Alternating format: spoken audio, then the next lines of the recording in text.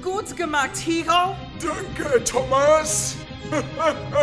Und dann passiert es. Spencer schlängelte sich hinter Thomas auf die Strecke. Da bist du ja. Spencer? Thomas sauste schnell wie der Wind übers Gleis. Dieses Mal wirst du mir nicht entkommen, Thomas. Hero dampfte so schnell er konnte. Er wollte bloß weg von Spencer. Dann sah Spencer Hero.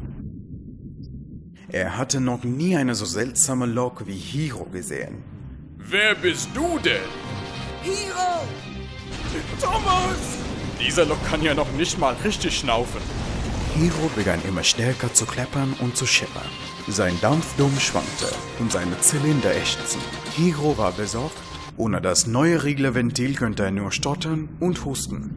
Heroes neue Lampe löste sich und traf Spencer. Heroes Maschine begann zu rucken, nur zu zittern. Teile lösten sich und knallten scheppernd auf die Schienen. Keine Angst, Hero! Du kannst es schaffen! Thomas, hilf mir! Aber je mehr Hero sich anstrengte, desto stärker wackelte er. Lauf bloß weiter, Hero! Weite Teile lösten sich und flogen davon.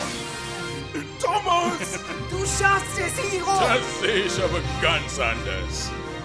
Hero wusste, dass Spencer recht hatte. Der Held der Schienen war wieder ein Haufen Schrott.